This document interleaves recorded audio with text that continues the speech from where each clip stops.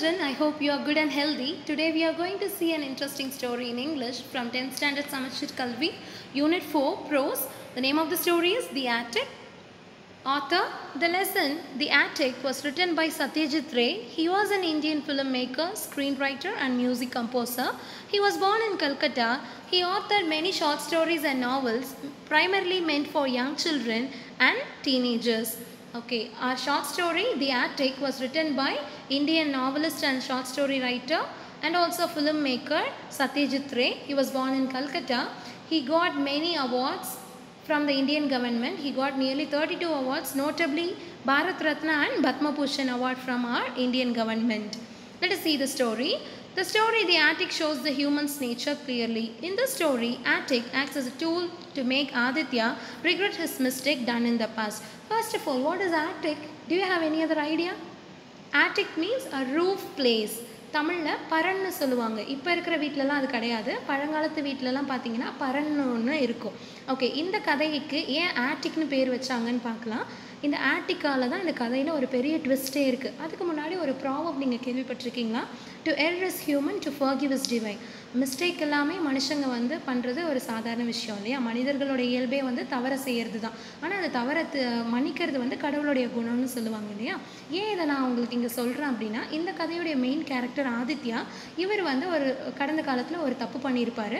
அந்த தப்பை இவர் திருத்திக்கிறாரா இல்லையா அப்படின்றது தான் இந்த ஸ்டோரியில் நம்ம பார்க்க போகிறோம் while returning from their new factory at டியோடர் கன்ஸ் the writer with his friend and business partner Aditya was driving along National Highway 40.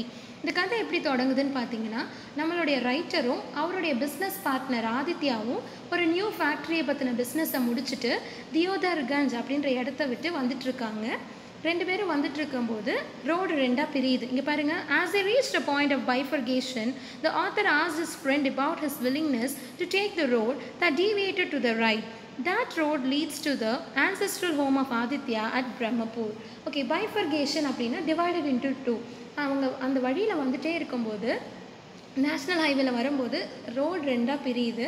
ரெண்டாக பிரியும் போது நம்மளுடைய ஆத்தர் தான் வண்டி ஓட்டிட்டு வர்றாரு ரைட்டர் சரியா? அவர் என்ன கேட்குறாருன்னா ஆதித்யா கிட்ட நான் வண்டியை ரைட் சைடு வந்து ஓட்டட்டுமான்னு கேட்குறாரு ஏன் அப்படின்னு பார்த்தீங்கன்னா ரைட் சைடில் பிரம்மபூர் அப்படின்ற ஒரு ஊர் இருக்குது அந்த ஊரில் தான் ஆதித்யாவுடைய ஆன்சிஸ்ட்ரல் ஹவுஸ் இருக்குது ஆன்சிஸ்ட்ரல் ஹவுஸ்னால் என்னது?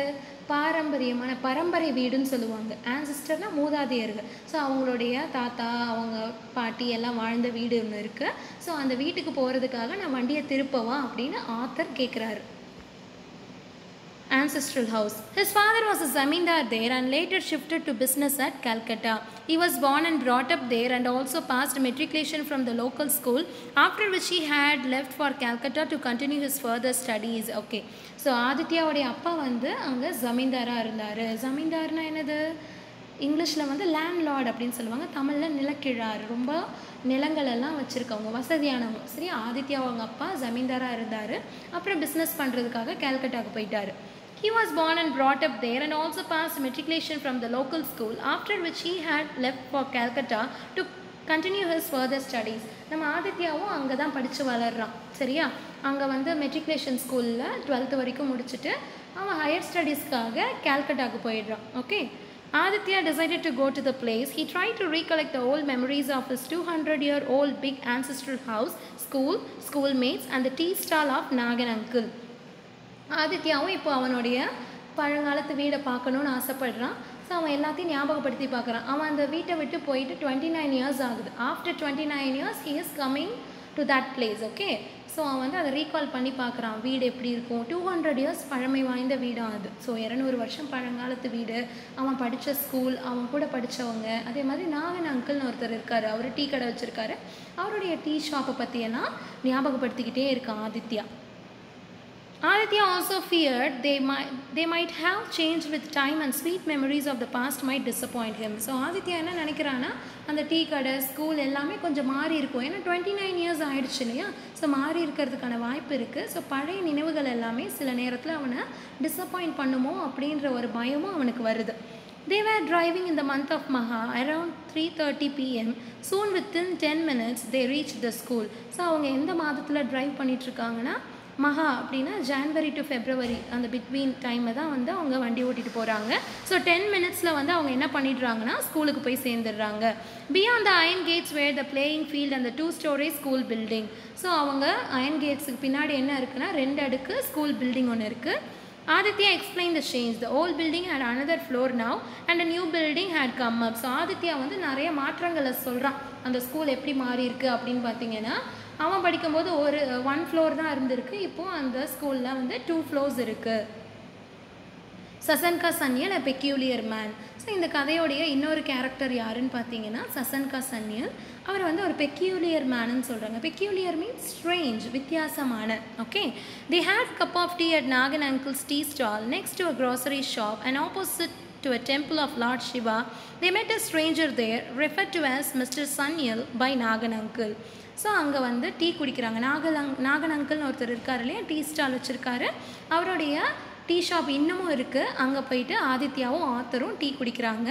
அந்த டீ ஸ்டால் எங்கே இருக்குதுன்னு பார்த்தீங்கன்னா ஒரு காய்கறி கடைக்கு பக்கத்தில் இருக்குது அதே மாதிரி லார்ட் சிவா டெம்பிளுக்கு ஆப்போசிட்டில் இருக்குது அங்கே அந்த டீ ஸ்டாலில் ஒரு ஸ்ட்ரேஞ்சர் உட்காந்துட்ருக்காரு அவரை நாகன் அங்கிள் என்னன்னு சொல்லி கூப்பிடுறாருன்னா மிஸ்டர் சன்னியல்னு சொல்லி கூப்பிடுறாரு.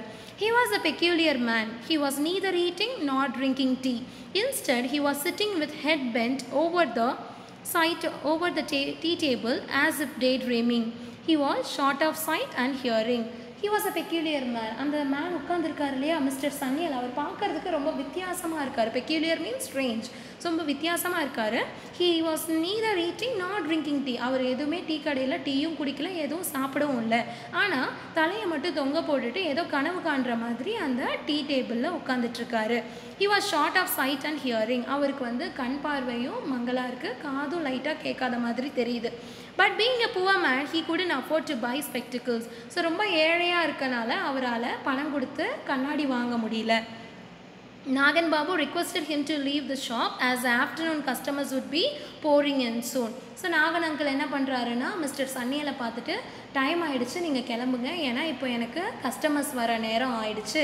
அதனால் நீங்கள் டீ ஷாப்பை விட்டு கிளம்புங்க. அப்படின்னு சொல்லிட்டு நாகன் அங்கிள் மிஸ்டர் சன்னியலை பார்த்து ரிக்வெஸ்ட் பண்ணுறாரு The man suddenly stood up and began to recite Rabindranath Tagore's Pandraksha. Have recited, having recited, he left the place.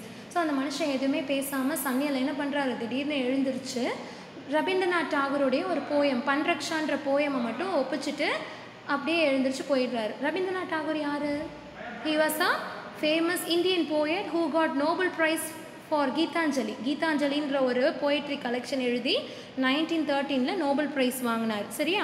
அதே மாதிரி நம்மளுடைய நேஷ்னல் ஆந்தம் எழுதினதும் யார்? ரவீந்திரநாத் டாகூர் அவருடைய போயம் பன்ரக்ஷான்ற போயமை சன்னியல் வந்து எழுந்திரிச்சு படிச்சுட்டு ஒன்றுமே பேசாமல் போயிடுறாரு. ஓகே ஏன் சன்னியல் வந்து இந்த மாதிரி பிஹேவ் பண்ணார் அப்படிங்கிறத நம்ம செகண்ட் பார்ட் ஆஃப் த வீடியோவில் பார்க்கலாம்.